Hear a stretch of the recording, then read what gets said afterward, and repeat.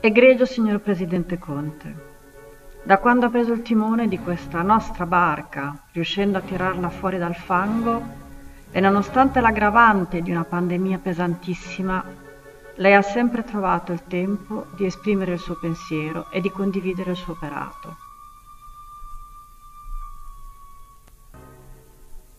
È stato instancabile nell'esserci di esempio e nel farci coraggio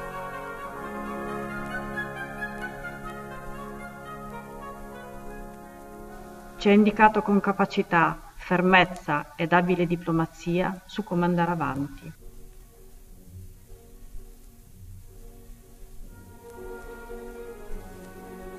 Adesso, in questo momento di difficoltà estrema e di abietto tradimento, nei confronti suoi e anche di noi cittadini, è turno nostro essere presenti per fare coraggio a lei ringraziarla per quello che ha fatto e che sta facendo e dirle che negli italiani onesti ha lasciato un segno indelebile.